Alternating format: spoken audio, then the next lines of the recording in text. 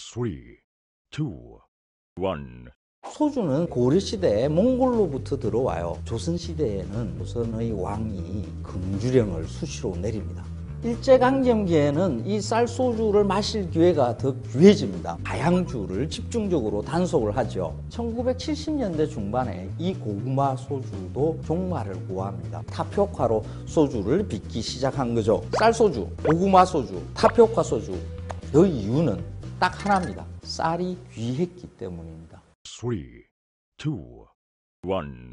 최근에 증류식 소주 붐이 조금씩 불고 있어요. 사케, 맥주, 모트 위스키 그 안에 이 증류식 소주가 있습니다. 어? 깜짝 놀랐어요. 쓴맛은 적고요. 향은 차분합니다. 가격을 물어봤죠. 5,000원, 6,000원. 와, 이거 대박이다. 그냥 막 마시는 게 아니라 향을 즐기면서 마셔야 쌀소주의 진가를 알 수가 있습니다. 쌀소주를 많이 마시면 영민을 돕는 일이 됩니다. Three, two, one.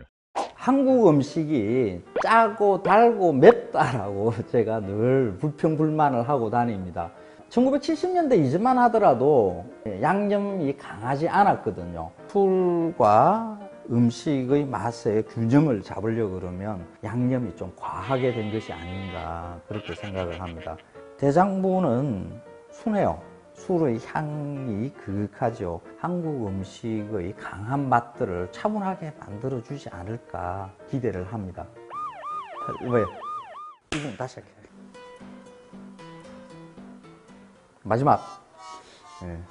술의 향을 좀 제대로 즐기겠다. 약간 입이 넓은 잔이 좋아요. 반찬 그릇. 술의 향이 확 올라오네요. 이것을 원샷. 방송이라서 못 마셔요. 대장부와 어울리는 음식은 생선회. 대장부가 생선살의 단맛을 살짝 끄집어 올립니다. 고기, 등심, 돼지, 목살 두툼하게 구워서 아 이것도 괜찮아요. 한번 드셔보세요. 음식 한 점 먹고 소주 한 잔 하고 이렇게 먹는 거죠. 대장부는 향의 술입니다.